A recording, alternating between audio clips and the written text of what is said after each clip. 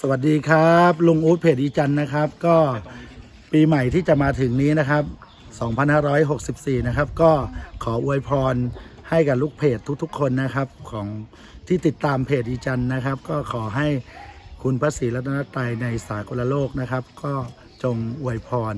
ให้กับลูกเพจทุกคนจงมีแต่ความสุขความเจริญรุ่งเรือง ปราศจากโรคภัยไข้เจ็บครับ สวัสดีปีใหม่ครับ ปีใหม่นี้ก็ โกก็ไม่มีอะไรจะให้อะนะ นอกจากกำลังใจ ให้พวกเราชาวเพจจันแล้วก็ลูกเพจ